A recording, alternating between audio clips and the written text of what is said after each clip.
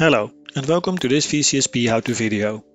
In this part of the series we're going to discuss the Linux repository immutability, or often called the Hardened Linux repository. My name is Sander and I'm a Cloud Systems Engineer for Veeam. Why is an immutable repository important or useful? Because it offers great protection against ransomware by preventing unwanted encryption or deletion of your backups. This protection is achieved by using the immutable flag in Linux. This way backups cannot be deleted from the Veeam console or from the Linux command line. The only way to remove these backups is to log in with root access and remove the attribute before deletion. The main advantage of an immutable repository is that it offers a great way to protect against ransomware attacks. When we prevent root access to the server we can also use this setup for insider protection. The hardware requirements for this type of repository are quite modest, and we support several different Linux distributions.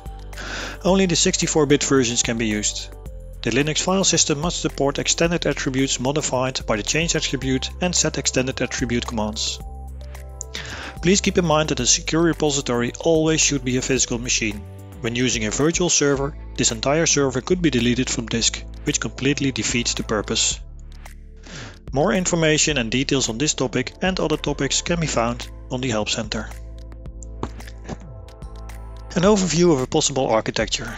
We don't need SSH access on normal use, we only need it for the initial deployment. Afterwards, SSH can be disabled. If needed, management can be done from the out-of-band management interface of the server. The transport service does not require root privileges, it runs as a normal user. The hardened repository requires a persistent data mover service, and for security purposes the rights of this service are reduced. We only need an SSH connection during deployment, and when configuring a hardened repository, you can either use persistent or single-use credentials. Single-use credentials are not stored by Veeam Backup and Replication. They are only used for deploying the Veeam data mover to the server. The single-use credentials reduce the rights for the data mover servers. This is the recommended way to add a hardened repository. When single-use credentials are used, the host where the hardened repository resides cannot have any other role. You cannot use it as a proxy or as a file server. On the server itself we create a separate folder for the hardened repository. Only the account used to connect to the server should have access to it. There's a service running that removes the immutable flag when the set time is expired. This service runs as root. To use the immutability feature, select the forward incremental backup chain with active full backups or synthetic full backups when you are configuring the jobs. For backup copy jobs, set up a GFS retention policy, otherwise you will not be able to use the immutability feature. Please remember, immutability retention overrides the job retention. If the job retention period is shorter than the immutability period, Veeam will not delete the backup files when the retention period is over, but only when the immutability period expires. The immutability period for each standard backup file in the active backup chain is set according to the backup repository setting, which is 7 days by default. For GFS retention, when the hardened backup repository is part of a scale-out backup repository with a capacity tier, the immutability period for full backup files with GFS retention policy is set according to the backup repository setting. Otherwise the following periods will be compared. The immutability period set for the backup repository and the GFS backup file lifetime. The immutability period for full backup files with GFS retention policy will equal the longest of these periods. For example, the backup repository immutability period is 10 days, the GFS backup file lifetime is 1 year, so the backup file will be immutable for 1 year. The increments from the full backup file will be immutable for 10 days from the moment of the last increment creation. The immutability feature is only supported for image level backups and a job must contain periodic full backups. The main purpose is to protect against external threats like ransomware, but with a proper setup it can offer some protection against malicious insider. This does require a proper physical security to prevent unwanted access to the server, you probably want to disable remote access and SSH. Other examples of air-gapped or offline storage are tapes or Cloud Connect with the insider protection option enabled. And now it's time for the demo. Let's switch over to the demo labs. I have already prepared the Linux server. It's running Ubuntu Linux and there's an XFS partition on the second hard drive. We use the reflinks option during format to enable the fast cloning feature. In this overview we can see the directory where the drive is mounted to and the file system type is XFS. The repo user is the owner of the directory where the disk is mounted to. When we head over to the Veeam Backup and Replication console, to the backup infrastructure, we can see that there is no backup repository yet which uses the Linux immutability feature. Let's add one, but first we have to add the server which is hosting the repository. We go to Manage Servers and choose to add a server. Add Linux and enter the uh, full domain name for the repository server.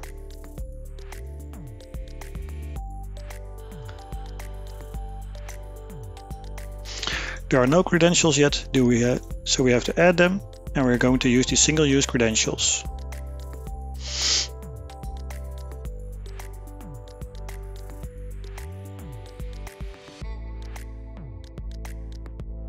Choose next and choose yes to accept the new fingerprint. The transport service will be installed. Choose apply Remember that the credentials entered are only used during this initial deployment.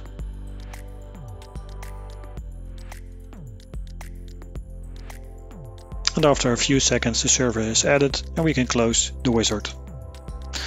When we go to backup repositories, we can choose to add a repository and select the direct attached storage option because we're going to use the internal hard disks of the Linux server.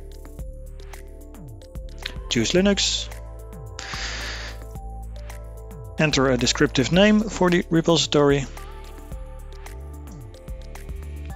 The server is selected by default because this is the only server uh, capable of hosting this type of repository. Choose populate to see all directories we can possibly use.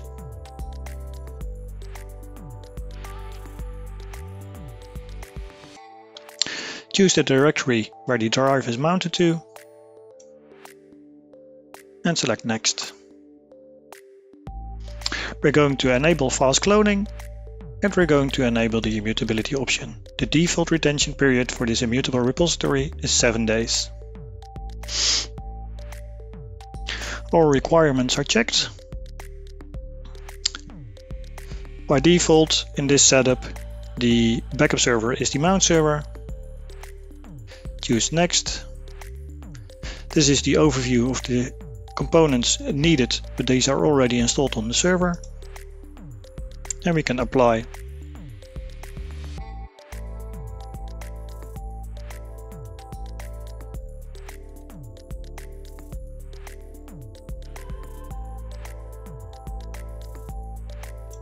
Choose next and finish. Now we can see that the repository has been added.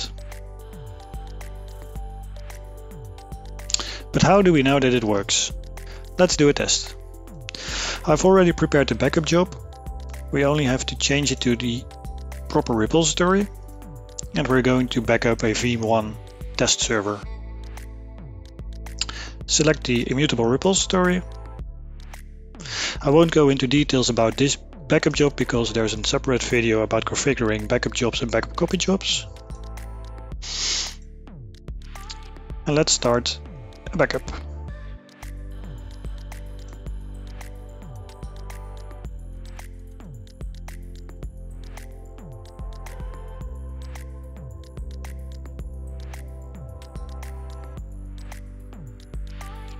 Now that the backup is finished, we can go over to the backups and select proper backup job to try to delete this from the repository. We can verify that the virtual machine is part of this backup and we're going to try to delete it from disk.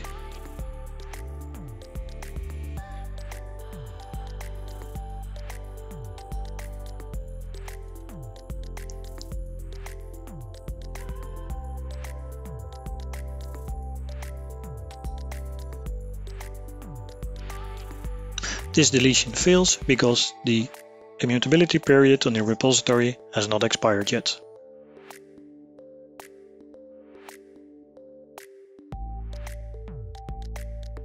And with this, the demo is done. We've created a new hardened repository on Linux and we have tested it with a new backup job. Stay tuned for other useful videos in this series.